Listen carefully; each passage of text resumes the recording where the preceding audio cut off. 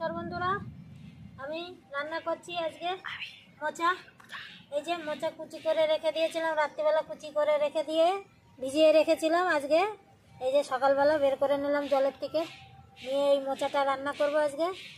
আর এদিকে আলু কেটে নিয়েছি দুটো। এই যে কুচি করে নিয়েছি। চিংড়ি মাছ নিয়েছি। বেশি না? একশো গ্রাম। এটা আমি গরম জলে বসিয়ে দেবো সিদ্ধ করতে।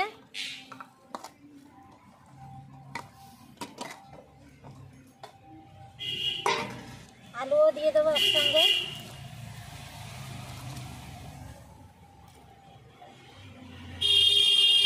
রাত্রিবেলা বসে বসে মোটা কেটেছি তো, সেই জন্য আমি কাটাটা দেখাতে পারলাম না। এটা আমাদের বাড়ির গাছেরই মোচা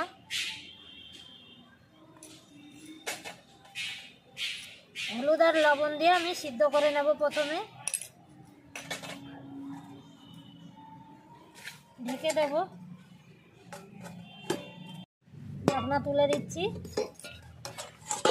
দেখো ফুটছে একদম সিদ্ধ, ভালো করে হয়ে গেছে সিদ্ধ।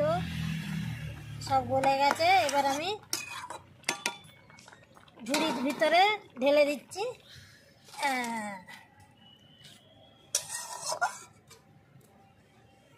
তেল গরম হয়ে গেছে। চিংড়ি মাছটা আমি ভেজে নেব। চিংড়ি মাছের নুন আর হলুদ আমি একসঙ্গে মাখিয়ে নিয়েছি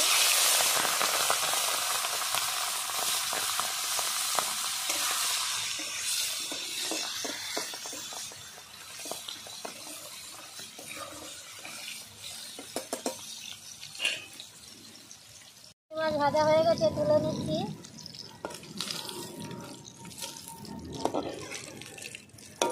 গোটা জিরে আর একটা তেজপাতা।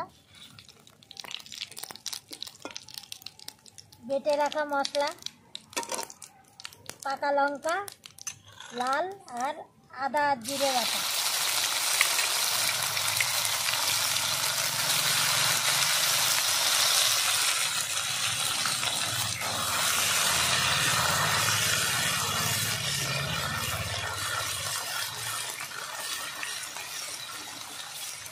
দিয়ে দেবো টমেটো কুচি, ছোটো একটা।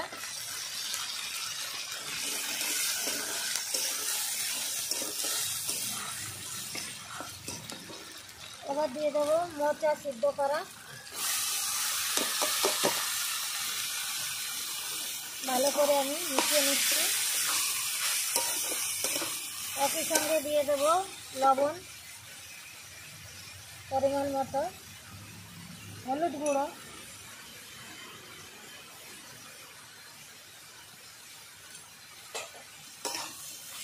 একই সঙ্গে কষিয়ে নিচ্ছি সব।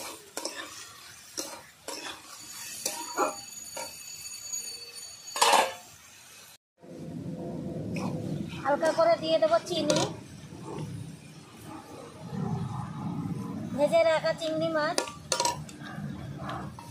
ভালো করে আমি কষিয়ে নিচ্ছি একসঙ্গে। আমি আজকে আর এটাই জল ব্যবহার করব না।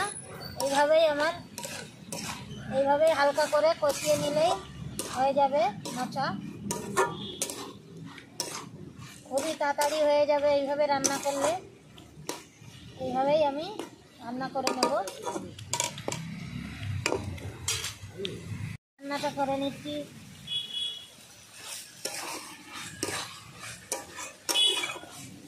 কাঠের জালে রান্না হলে এরকম ধোয়া তো হবেই।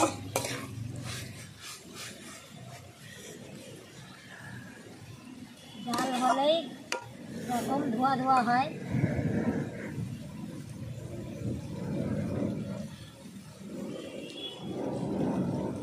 মোচা আমার রেডি আমি এবার নামানোর আগে দিয়ে দেব গরম মশলা।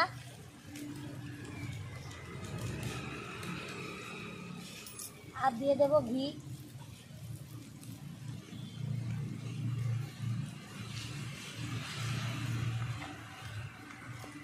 ভালো করে মিশিয়ে নিচ্ছি।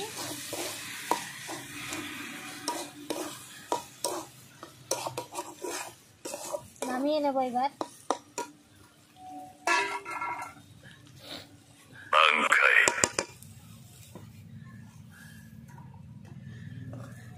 একদম মা- একদম শুকনো শুকনোই করেছি।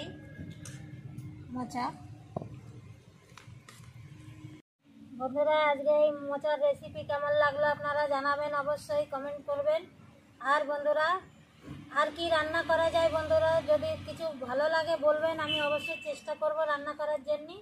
আর একটা পারলে লাইক কমেন্ট শেয়ার করে দেবেন। আসছি বন্ধুরা, নমস্কার।